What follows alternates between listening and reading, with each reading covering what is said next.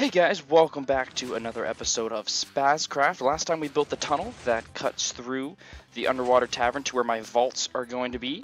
And in between episodes here, I have constructed the first spiral door. Now, I used Mumbo's video and he didn't time the repeaters correctly.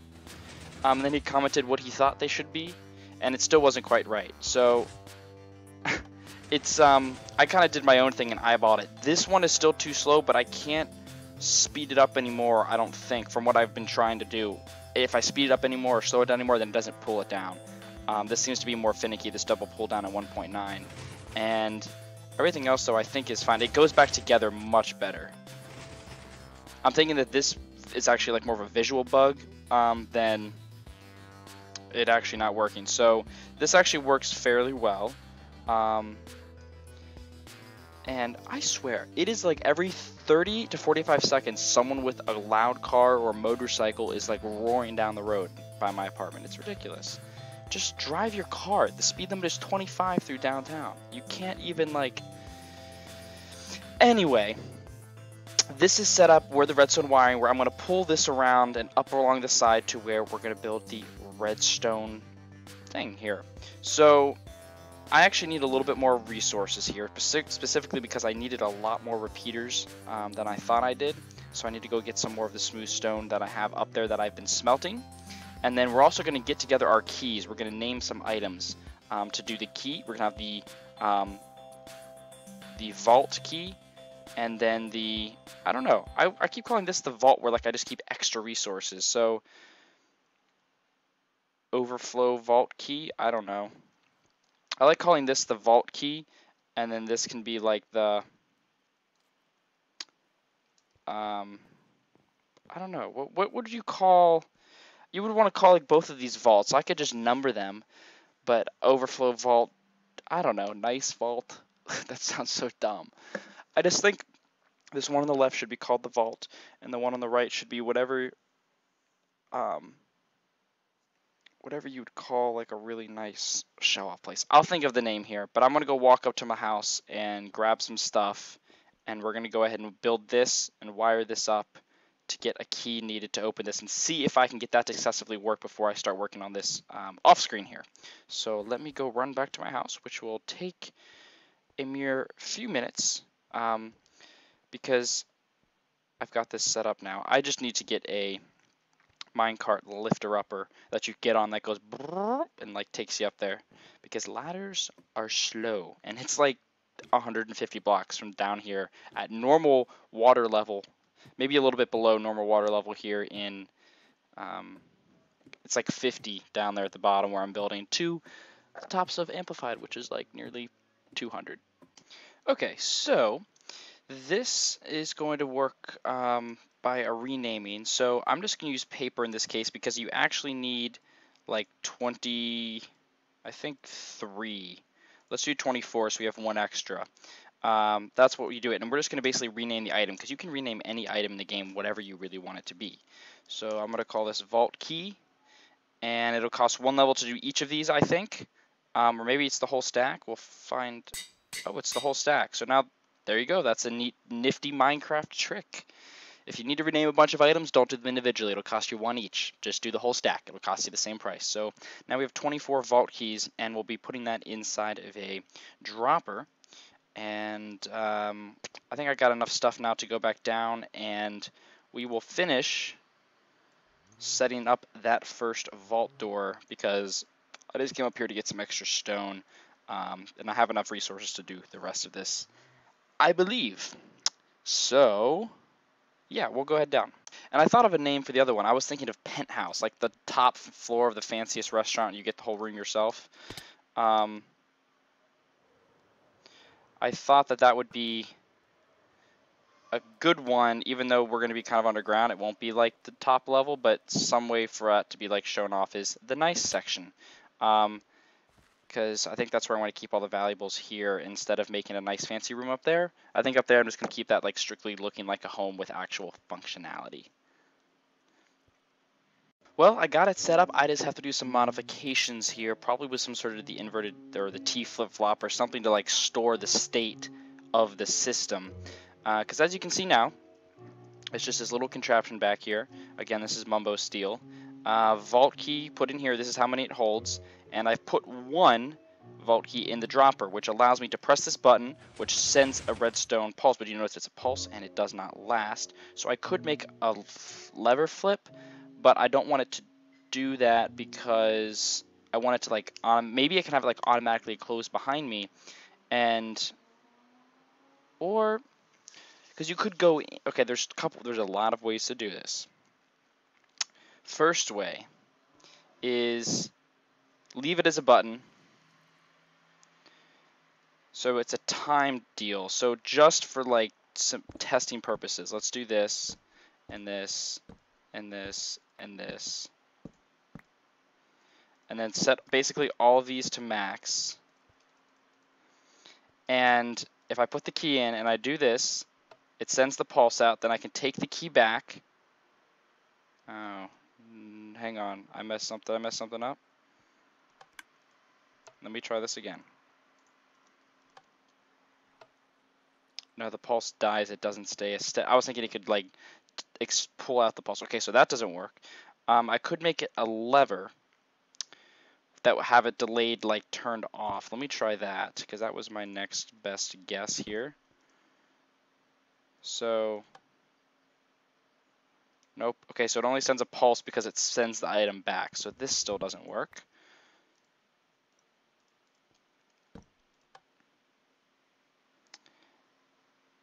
Or does, does this even work as like a way to transport a signal? Maybe that's the problem. Let's do that. Does that work? Um,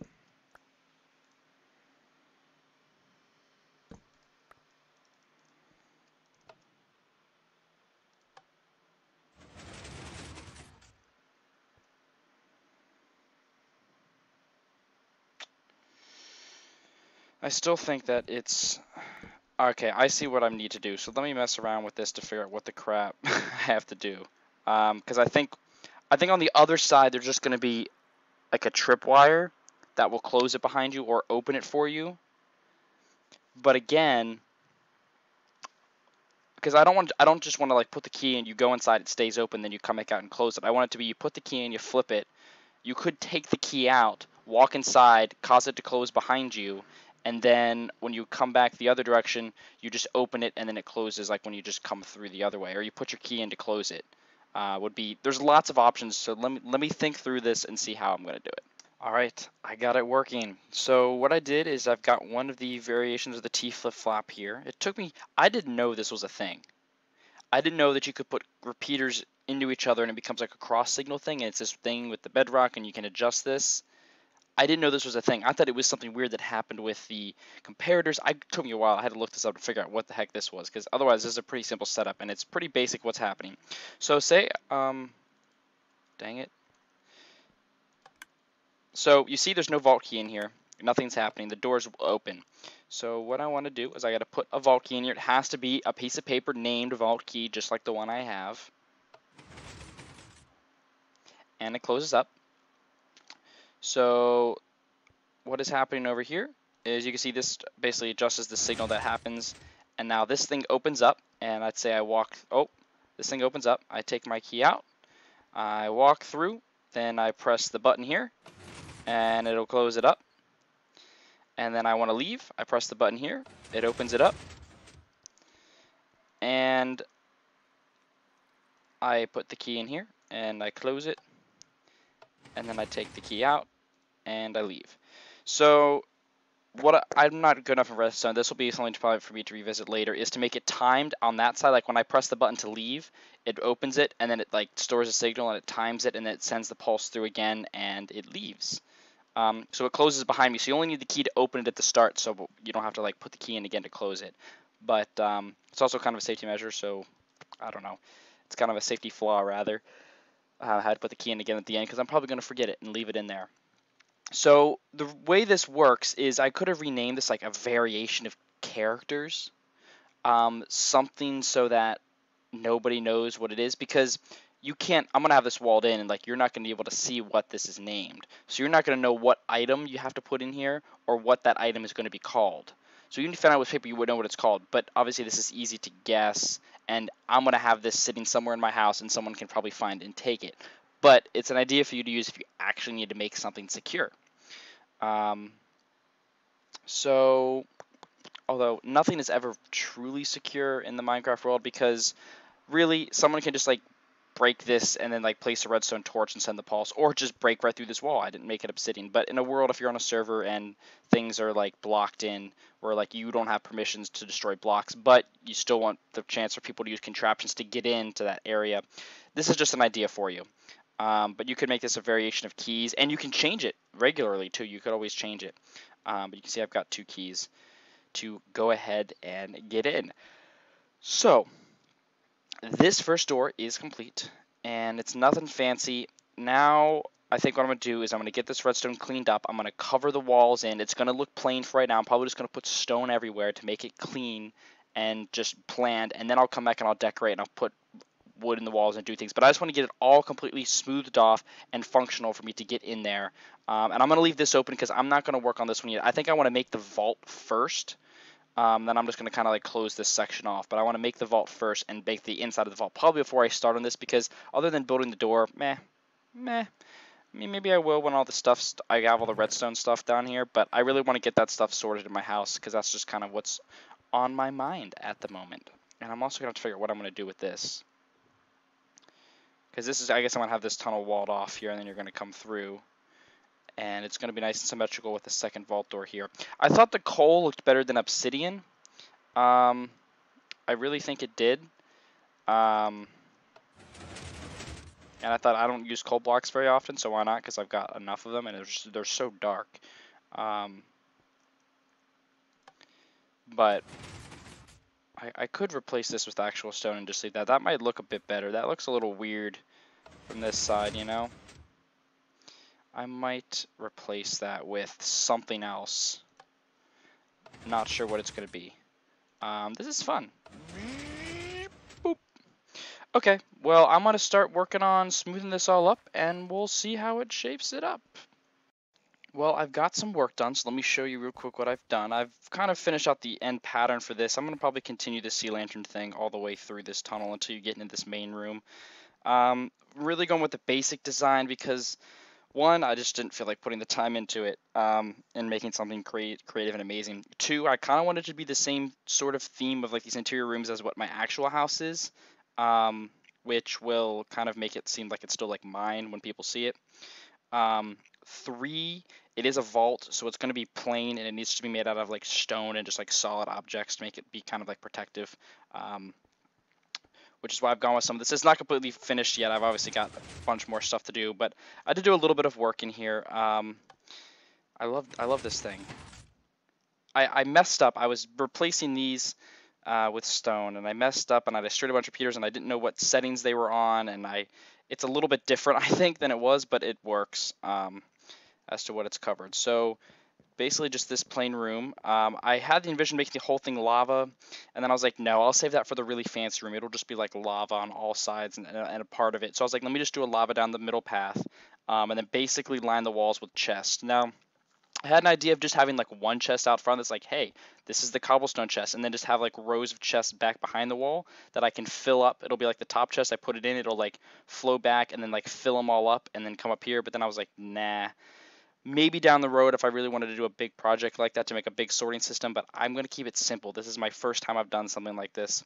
That's maybe for like another season of this when there's like a new map and I want to do a big sorting project. Um, otherwise, this is how it's all going to remain. And I'm just going to basically sort it like this. So here we goes. I'm just going to like fill these chests with like this will be cobble and this will be this. Um, not really sure how I'm going to split it up because like if I fill up like the three rows I designate to cobblestone, then maybe I'll just cut behind and fill it up with fill it up with more chests. Um, maybe do something like that. If these, or maybe I'll, I'll have like two or three columns of it, and then I'll like like dig behind and expand this back if I need to, and it'll be like a big bank of them, if it ever got to that. Um, which it might, it might.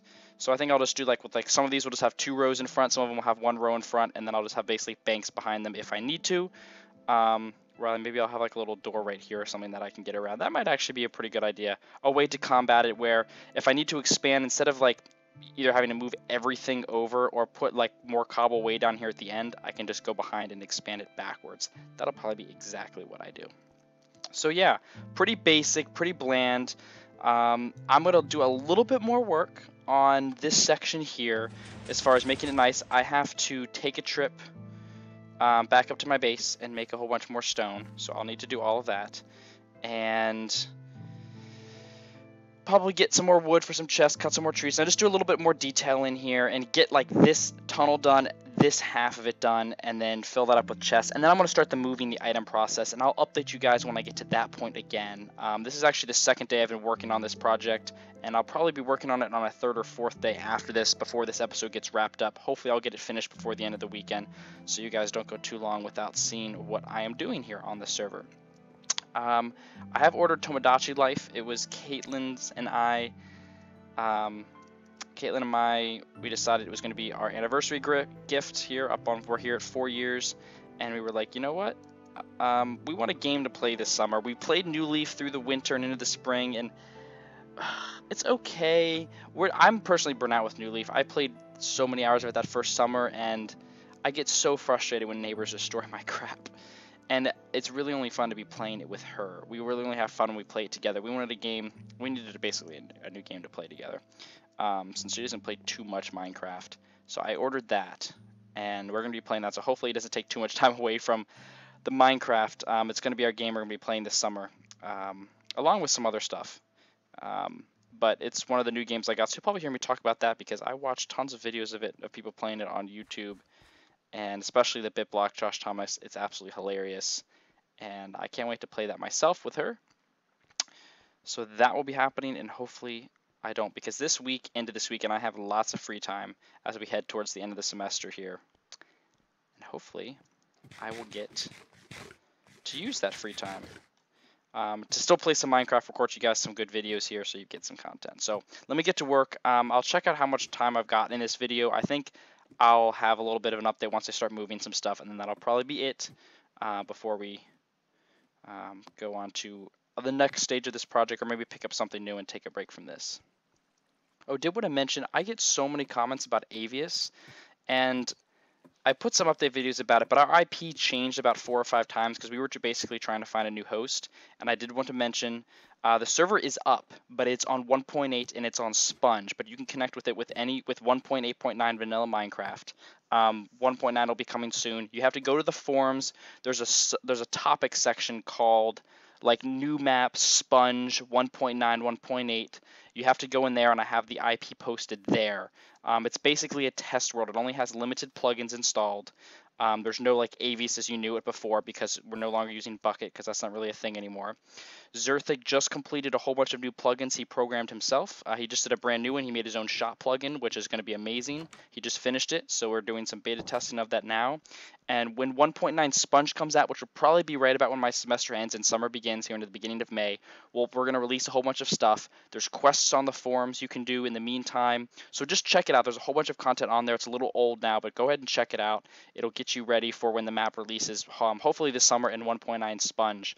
Um, we're basically just been waiting for plugins to be programmed, so it's kind of like a test world that's kind of up right now. But you can go check it out. It's not the IP that's been broadcasted before or that's on the banner on the website. You have to dig it up. I have got my chest laid out, and basically what I'm going to do now is take some of these hooligans that are on with me to go take items from all the different places I have items with. My empty, I'm going to empty out the inner chest, and then I'm going to empty out a um, my donkey's inventory, and then I'm going to run all the way back and fill up that vault and start stuffing it up to get it ready to uh, be closed up. Alright, with the help of I Davis, I have moved all of the items from the instant mine area, which was like three and a half double chests full of crap. And now literally all of these are just full of crap. And it's kind of crazy. I had to use my mule to help which saved me like one extra shift and an empty ender chest. And I had to make all the portals three wide, and it was just a pain in the butt. Um, he almost died, like suffocating a couple times. So it was really kind of painful, but I did it. And I got some items down there and over there, and some stuff down in that mine that I'm going to need to move, but I can probably do those with just myself and an ender chest and not needing much else. So I have all these items. I also smelted a bunch of stone. And the ideas behind this is going to be to just store them, to go through what I need to and get rid of all these chests and and really just store all the crap down there that I want. There'll be netherrack, because I got chests of that, and the stones. Um, this is to finish decorating down there. Um, but yeah, they're all done. So this will be kind of an off-screen project, um, and you probably won't see me talk about it much unless I either finish it or I do another section down there. I'll just be sorting my chest kind of off screen and organizing things as we go along. It's going to be an off screen project. The next on screen project, again, unless I finish something down there, will probably be a squid farm, an enderman farm, or something. Um, the gold farm we built, the guy Snow Crash, he released an update for 1.9, a whole like redo of it. that made it much more efficient and faster with slime blocks. It's crazy. We're not going to build it or do the changes because it's kind of it's kind of something we would have done if we would have been building it from scratch again. We're not going to do that, but here in the near future, um, I did want to mention we are now on the 1.9.3 pre-release. It's amazing how smooth the game runs. Um, it's really I say that and I'm at 30, but I think that's Fraps capped me off at 30. Um, because otherwise I get 60 everywhere. Oh wait, it's actually, I have 60 right now and I put up F3 and it plummets it to 30 for some reason. That's just Fraps probably doing something. Um, but yeah, it's really great that I have all this stuff and I'm really kind of excited to get things organized down there. I'm just not a fan of how long it takes to travel up and down, so I might make a rail cart. I went down the gold farm. I'm gonna have to spend some AFK time at the gold farm to repair all my tools. But the iron farm, we have like two stacks of blocks plus some. It's amazing how much we have. Um, really plenty of iron to make rails to go up and down, and plenty of gold for the power rails, plenty of redstone. We're really ready to roll. Um, so, yeah. Look for an update video at some point in the near future about Avius and the status of my channel and all the update stuff going on. I do need to share that. Uh, Zerthik just made a shop plugin. It's beautiful. It's really beautiful. So that's it for this episode. Um, I'm going to, again, move it all myself hopefully you're enjoying Stardew Valley. If you haven't checked it out yet, check out my first video. I might have uploaded a couple by now when this goes up later this weekend. I really enjoyed playing the game. I put in a lot of hours into it. Um, it's just kind of a fun, like, relaxing thing to do, and it's an RPG. It's little quests, little collections, and completion stuff. That makes it kind of fun, and it's it's a pretty it's cheap price too. So thank you guys so much for watching. Thank you for supporting Spazcraft. Thank you for all your feedback. The last couple videos have been getting so many more views than the last ones. Um, you guys are really starting. A lot of old people are coming back, um, and I think we're kind of like pushing on to like defining new parts, a new style for this channel. So thank you guys for watching. I have one week of classes left, and then it's summer vacation. I will talk to you guys later. See ya. Hey guys, thanks so much for watching. If you'd like to check out some more Minecraft, why not check out my Sky Factory 2 Let's Play with Zerthik and Necker by clicking here in the top left. If you'd like to see something else, you can check out my Eidolon Let's Play that I'll be finishing this summer by clicking here in the top right. You can follow me on Twitter down below, and then if you'd like what you've seen so far and you have yet to subscribe, click the big banner below.